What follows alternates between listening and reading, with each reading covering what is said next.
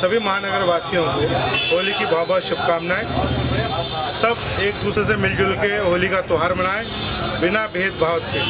और किसी के साथ ज़बरदस्ती रंग ना डालें। ज़बरदस्ती किसी के साथ न करें। और जो लोग नशे में झूमते हैं और उल्टे सीधे जो रंग लगाते हैं, कृपया करके मैं निवेदन है उन लोगों से कि वो ऐसे कोई काम ना करें जिससे दूसरों को ठेस पहुँचे।